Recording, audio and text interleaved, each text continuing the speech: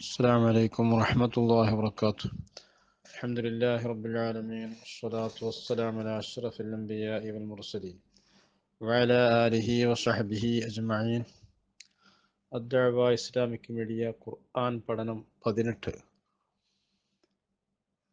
عن العرباض بن سارية رضي الله عنه أن النبي صلى الله عليه وسلم كان لا ينام حتى يقرأ المصبحات ويقول فيها آية خير من ألف آية ഇറബാലുബിന് സാരിയ റളിയല്ലാഹുവിനെ തൊട്ട് റിപ്പോർട്ട് ചെയ്യുന്നതായ ഒരു ഹദീസ്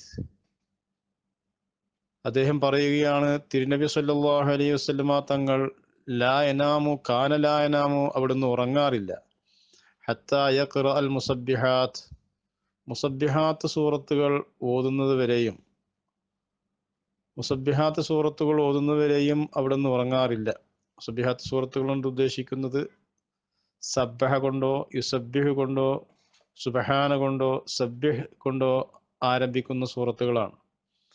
അത് ആ സൂറത്തുകൾ സൂറത്തുൽ ഇസ്രാ സൂറത്തുൽ ഹദീദ് സൂറത്തുൽ ഹഷർ സൂറത്തു സഫ് സൂറത്തുൽ ജുമ അത്തഗാബുൻ വൽ ആയില ഈ സൂറത്തുകളാണ്.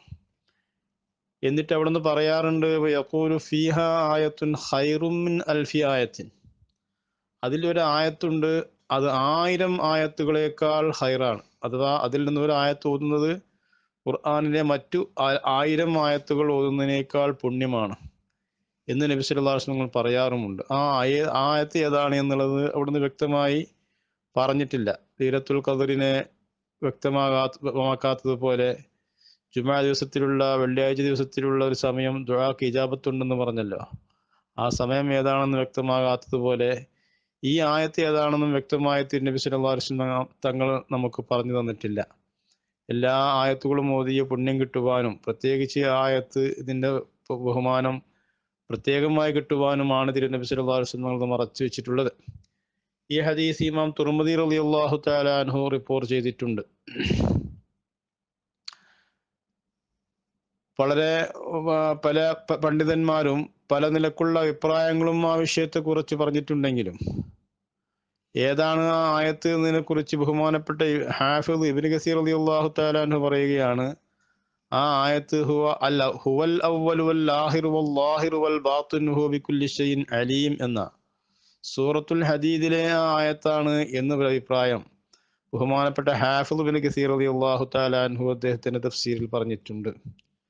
മറ്റൊരു അഭിപ്രായം അത് ലൗ അൻസലിനെ കൊണ്ട് തുടങ്ങുന്ന ഹുവല്ലാഹുല്ലദീ ലാ ഇലാഹ ഇല്ലാഹു ആലിമുൽ ഗൈബി വശഹാദ هو الرحمن الرحيم هو الله الذي لا إله إلا هو الملك الملك ملك القدوس السلام المؤمن المهيمن എന്ന് തുടങ്ങുന്ന ആ ആയത്ത് അഥവാ സൂറത്തുൽ ഹഷറിന്റെ അവസാനത്തെ ആയത്താണ് എന്ന അഭിപ്രായവുമുണ്ട് അപ്പൊ ചുരുക്കത്തിൽ മുസബ്ബിഹാത്തുകൾ ഈ പറയപ്പെട്ട സൂറത്തുകൾ തിരുനബി സല്ലല്ലാഹു അലൈഹി വസല്ലം തങ്ങൾ ഉറങ്ങുന്നതിന് മുമ്പ് പാരായണം ചെയ്തിരുന്ന സൂറത്തുകൾ ആകുന്നു.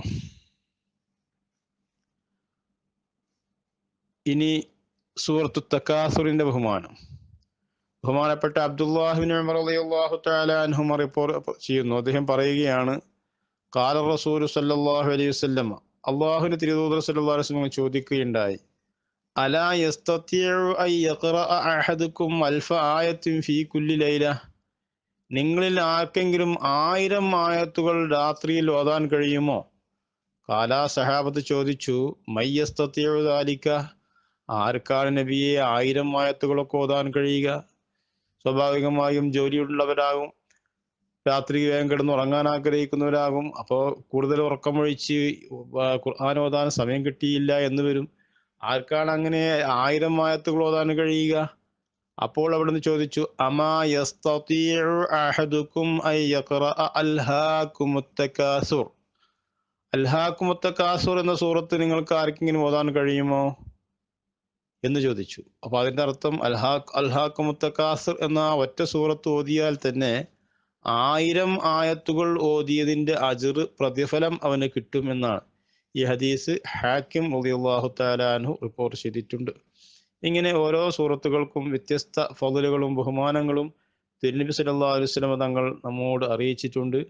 കഴിയുന്ന അത്ര ആ സൂറത്തുകൾ നമുക്ക് ഓതാൻ പതിവാക്കാൻ കഴിയുന്നിടത്തോളം പതിവാക്കിയാൽ അതിന്റെ പുണ്യം ലഭിക്കുക തന്നെ ചെയ്യും. പരിശുദ്ധമായ ഖുർആാനു ഷരീഫ് രണ്ടു ലോകത്തും നമുക്ക് സന്മാർഗത്തിലാക്കുവാനും അതുപോലെ സത്യവഴി കാണിച്ചു തരുവാനും ഹൃദയത്തിന് ഉണർവ് കിട്ടുവാനും ഒക്കെ ഉപ ഉപയുക്തമാകുന്ന പരിശുദ്ധമായ ഖുർആൻ ഷരീഫിനോടുള്ള ബന്ധം അത് സുദൃഢമാക്കുക.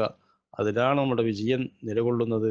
വാഹിർ ദഅവാന അനിൽഹമുല്ലാഹി റബ്ബിൽ ആലമീൻ. അസ്സലാമു അലൈക്കും വറഹ്മത്തുള്ളാഹി